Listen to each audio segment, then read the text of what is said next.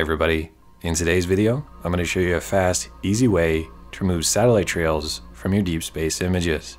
Because during the winter, a lot of our favorite targets do have some awful satellite streaks going right through them, including the Angel Nebula, the Witch's Head Nebula, of course Orion, and many more. And while a lot of people like to blame Starlink for all their problems at night, this is actually not the main culprit, although it is a growing problem. The reason you see these awful satellite streaks is because of the geostationary satellites up in orbit. And if you were to take a look in Stellarium, well, here's what you'd see. Right now I have this set to show all the satellites up in the night sky.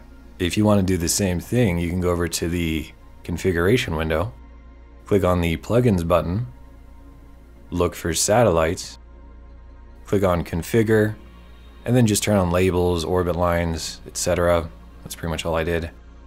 And then once you've done that, make sure you hit save settings. And now when you zoom in far enough, you should see all the satellites up overhead. And in this case, we're gonna be looking at two different targets that I recently photographed. The Witch's Head, which is right here, and then also the Angel Nebula.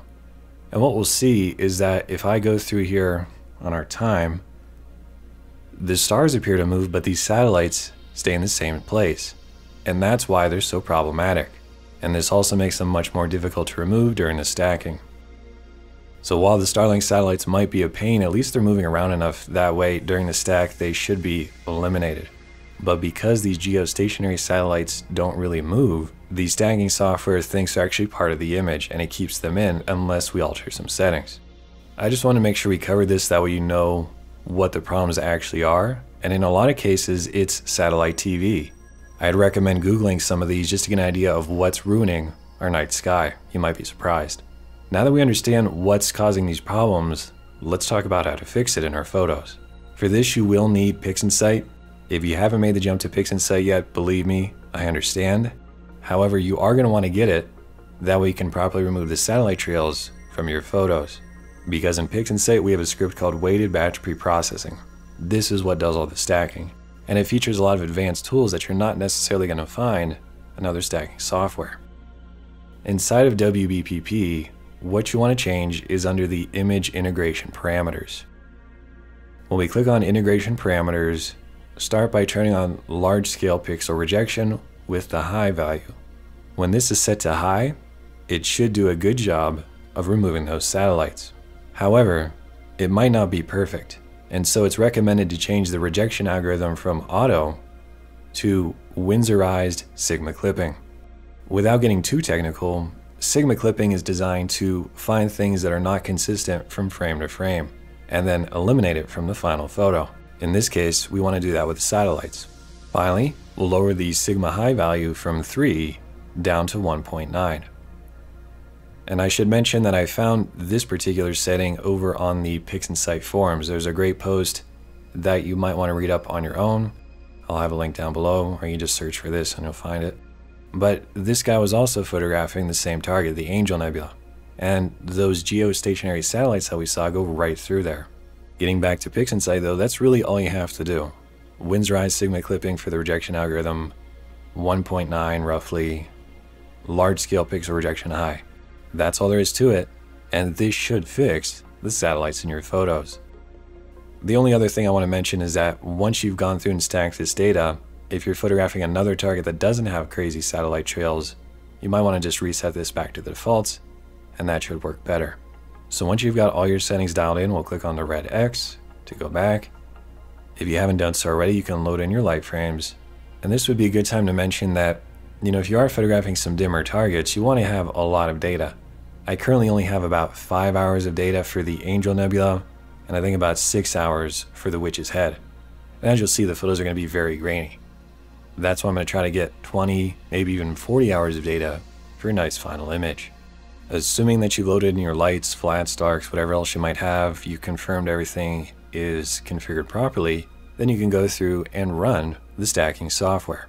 And if you are watching this video and you don't have PixInsight yet and you're kind of overwhelmed by what's going on, I do have a PixInsight for Dummies course that I updated a couple months ago, and from the feedback I've gotten, it seems to help a lot of people out. So you might want to check that out just to get over that initial learning curve for this software. Next, we're going to take a look at some comparison images and see just how well this turned out.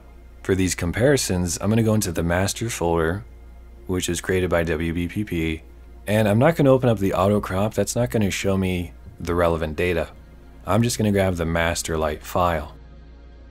Okay, so what I've done is I've loaded up my stack of photos with the rejection algorithms and then with just the normal stacking algorithms. And when we open up the files, we actually get this rejection file first. This shows us all the satellites and planes that I've found and what it tried to remove. This is very valuable for troubleshooting. You'll also notice that there was a lot of hot pixels that were rejected as well. And without going off on a tangent, this is why you want to start dithering if you haven't done so already. Because with dithering, your composition is going to change slightly between every photo. That's going to allow the random noise, the hot pixels, static noise, and more to spread out over the course of the night. That way the stacking software can identify it and remove it more effectively. So if you're not dithering yet, you should definitely give that a try. But we can see just how obscene the amount of satellites in this photo are. This is another low rejection, not much here. And then this would be one of our photos. Then we have the second photo, more or less the same thing that we saw earlier. A lot of satellites. Next, I'm just going to run these both through some very basic processing. I'll just speed this up and then we'll see how they both turned out.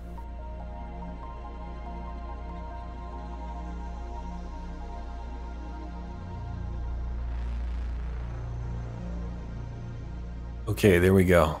With the stars out of the way, we can actually see the background a lot better. If we zoom in, I think it's pretty clear that the image on the right was the one with the satellite trails. That was using just the default max quality settings in the stacking software.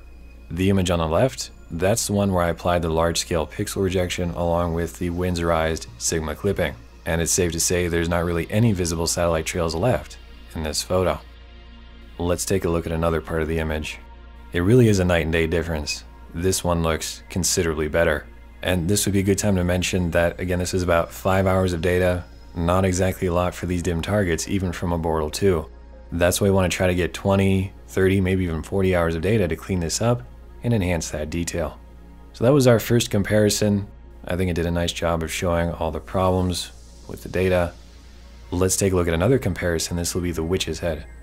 And I've already got a project, so I'm just gonna load that up real fast. Okay, here is example number two. Again, this is the Witch's Head Nebula, only about six hours at most, very grainy, needs a lot more work. But if we take a look at this portion of the photo, we see the same thing. We have these streaks of light coming through here. They're not quite as obvious as they were before, but they are still detrimental to the photo. And with the settings that I showed you today, they're no longer a problem. And that's about all I've got for you today. Thankfully, that was pretty straightforward. So I hope this helps you out if you are struggling with these geostationary satellites like I am. And now you know it's very simple. You just go into WBPP, assuming you're using PixInsight, go to the integration parameters, turn on large scale pixel rejection, and then also the Winsorized Sigma clipping. You might also want to lower that Sigma high value to around 1.9 or so. That should also help to rein in those satellite trails. The final thing I want to say is that I understand PixInsight is overwhelming. The stacking takes considerably longer than any other program out there. It can also eat up a lot of free space on your computer temporarily. With all that in mind, this should still give you the best quality final image, and it can also help remove those satellite trails very easily. So if you've been holding off on using PixInsight, you might want to give it a try. And for more information, I'd recommend checking out Adam Block. He's kind of the master of this software. He's got his own course and plenty of good YouTube videos. I also have my Deep Space course, which goes into some of this. You might want to check that out. But that's all I've got for you today. Thanks for watching, and hopefully you get some clear nights this winter to capture some great data.